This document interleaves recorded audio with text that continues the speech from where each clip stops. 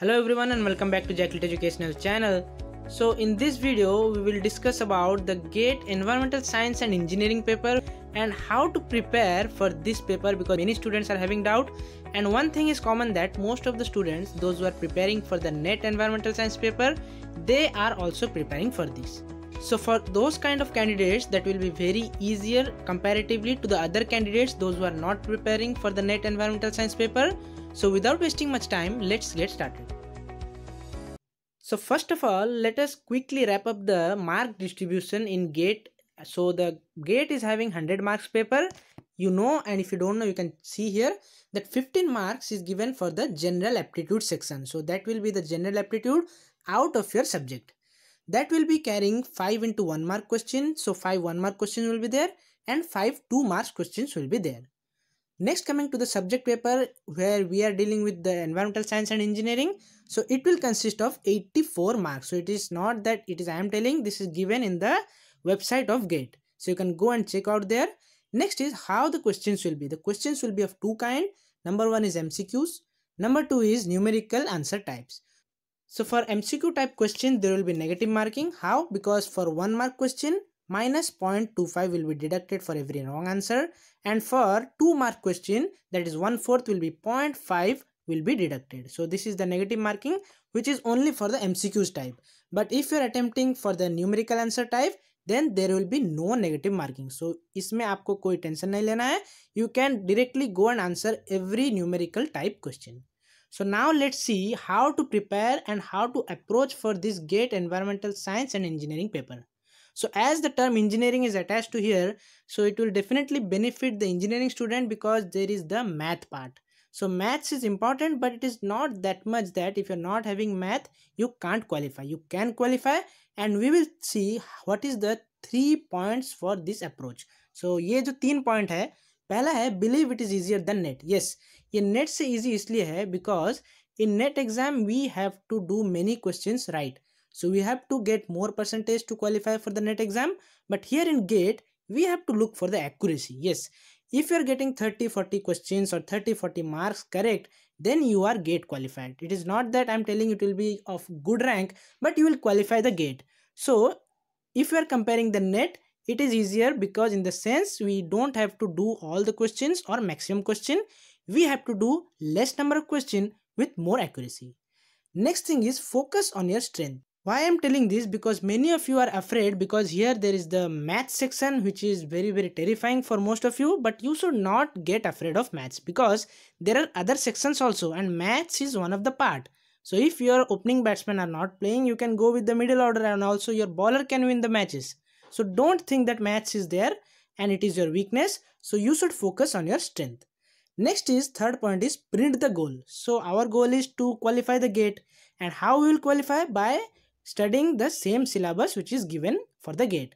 So we should download the gate syllabus for any paper we are appearing that is ES we are talking now and we should print out that. So what will happen by printing is that you will get to know the syllabus in your in front of your eyes and every day if you're going to solve all the syllabus by point wise for example you can see here in general aptitude there is many sections given verbal aptitude quantitative aptitude analytical aptitude and special aptitude. So one by one if you are clearing this you can give circle. So you can encircle those things and one day if you do gradually you will see many circles are there. So with the help of this circle the brain will send the signal that yes i am moving ahead step by step. I am following all this part and i am completing this syllabus. So that will give the positive vibe. So in this way i am telling you to download this pdf of the syllabus and complete one by one and do circle. So next is this is the general aptitude part as i have discussed. So this is on your own hand. I am not going to discuss about this.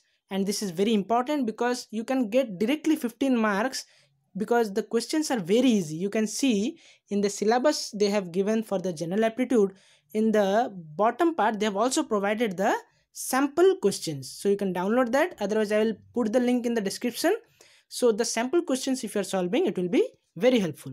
Now coming to our subject. So the syllabus i will not read because if you are going to appear I hope you have already downloaded the syllabus. so i will tell you what are the common subjects related to net environmental science and gate environmental science and engineering. And next thing i will be telling you what are easy for you? So which thing you can do in less amount of time with less amount of efforts so starting with the mathematics so don't get afraid. I'm telling you these things are common in environmental science exam also. For example eigenvalues it has also come in the net exam. So you can look for that. Next is skewness and kurtosis that is coming from the statistic part. Probability concepts basics. Bayes theorem which is also very simple. Next is t-test f-test chi-square test all these hypothesis test you can go for that so i'm not reading all this because i'm just telling which is simple and which can be completed within less time. Let's move to the section 2 so section 2 mein aa environmental chemistry. So this is very important for the net paper also. And in gate where you can focus i'm telling you i've already highlighted. First is radioactivity of elements so radioactive of elements what you can do is you can get the questions from the half-life of radioactive substances. So these kind of numericals also are asked in the net exam i'll provide you the link for one of the radioactive numerical which we have done in our channel. Next is coming to the principles of water chemistry water quality parameters and their measurement. So this thing that is do bod cod the basics you can also learn because it is very easy and less time consuming. Next coming to the solubility of gases in water. That means the henry's law the raoult's law these things you should know coming to the redox reactions the reaction between the oxidation and reduction it is called as redox reaction combinedly so how to balance them and the questions can be asked how much moles is required for this reaction if this much mole is given for the particular amount so these things you can get next is coming to the inorganic and organic contaminants in water and their speciation so ये speciation जो है this is not related to the evolution speciation means actually how to know what kind of indicators what kind of inorganic and organic contaminants are present? What are their characteristics? For example if lead is present what kind of disease can cause? If mercury pollution is there in water what kind of disease can be caused? So these are the speciation. So to know the organic and inorganic contaminants with their characteristic properties and the disease which can they cause. Next coming to the easier part that is sodium absorption ratio which we call SAR so you can see the simple formula is there. You should learn this because questions can be asked from this section also.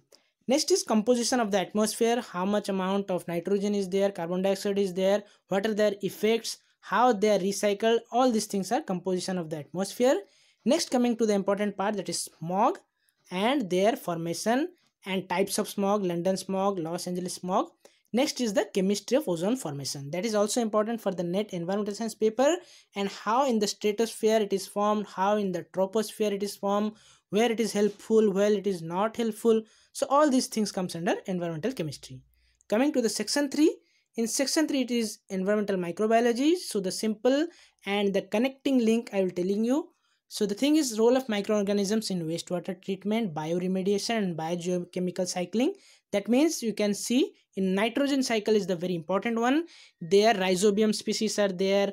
Anaerobic aerobic all types of microbes are helping to trap the nitrogen from the atmosphere and to give it to the plants. So these things are important. Next is cell chemistry and cell biology.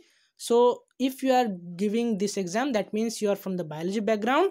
So you should know about proteins their structure nucleic acid dna rna phosphate atgc all these concepts you should know structure of cell also is important so it is not that you should know that mitochondria is the powerhouse chloroplast is used for the photosynthesis but to know all their structure and function deeply next coming to the important process which is occurring in the plants that is phosphorylation glycolysis, TCA cycle, electron transport chain and fermentation. So fermentation also will be helpful for net exam and anaerobic respiration and all. So you should know these things.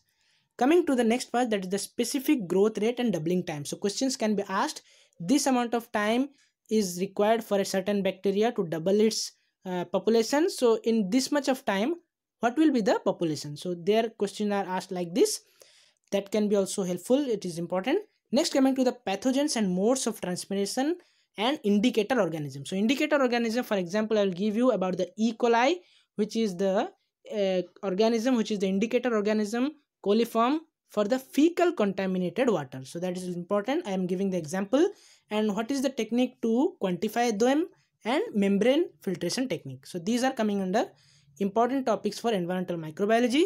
Coming to the section 4 water resources and environmental hydraulics. So here you should know global water resources, what is the percentage of fresh water, saline water, and all these things. Structure of water, properties, that means it is very much, uh, it is called as the universal solvent, it is dipolar, all these things are the properties. So you should know it deeply. Water quality, how to check the water quality parameters, threats to the water resources, how to conserve the water.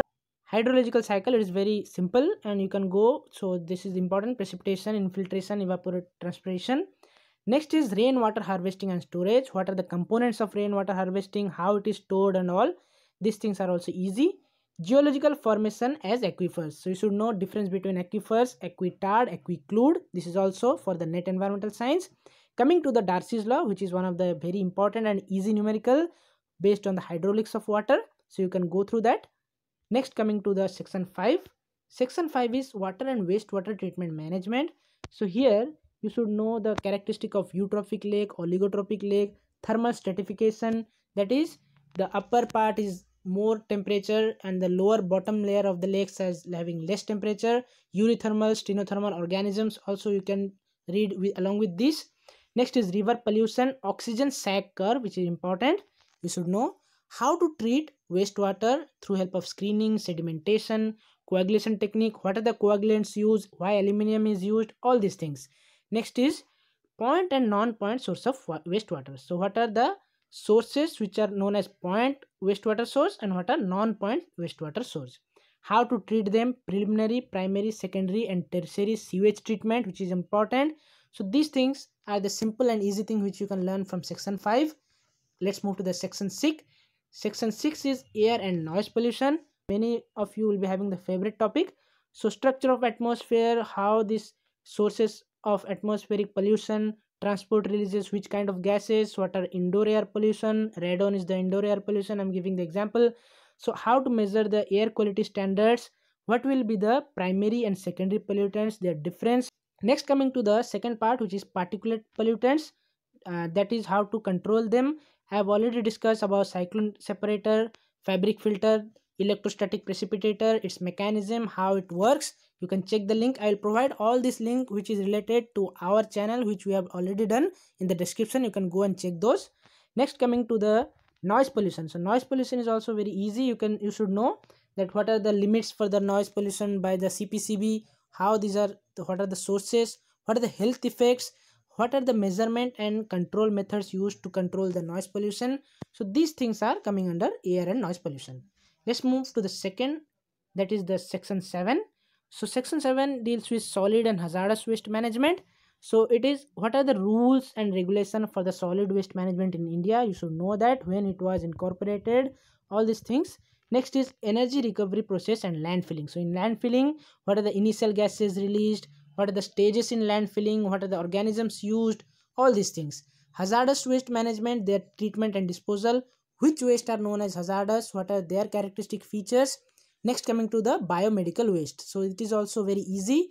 So you should know which color is segregated for different kinds of biomedical waste. What are the treatment? So that is waste management practices storage collection and transfer. Coming to the e-waste what are e-waste? What are their source generation and how to tackle with them? And what are their characteristic features? Let's move to the next slide. Here we will discuss about easy topics which you can do for section 8 and section 9 section 8 relates to the global and regional environmental issues. So it is having the greenhouse gases global warming concept climate change urban heat islands acid rain and ozone also these are small small topic but many questions can be asked from this topic. You should go through them. Next coming to the final unit that is environmental management and sustainable development. Here you should go with the iso series which iso deals with what which is related to life cycle assessment which is related to environmental auditing how to remember those number all these things you should remember. Next coming to the environmental law and policy when was the environmental protection act enacted in 1986 what are the laws under them? How to deal with them? What are the rules? Green tribunal act how it deals and what are the characteristic features of them? Coming to the renewable and non-renewable energy resources these are the easy things which you can deal. No need to go for the complicated things sustainable development. That means it is related to the brundtland report 1987 agenda 21 what are the goals 17 goals which we discussed in the last video? So these things are very simple which you can go as i have discussed here. No need to go for all the syllabus because it will cause headache but you can go and focus on your strength and easy topic. So where we can fetch marks and no need to go for difficult topics. It will create tension that i will not be able to crack this and you will get demotivated. And i will try to make some videos related to these topics. So stay tuned for them. And if you like this give a like share it with your friends and subscribe the channel if you haven't subscribed till now. See you guys in our next video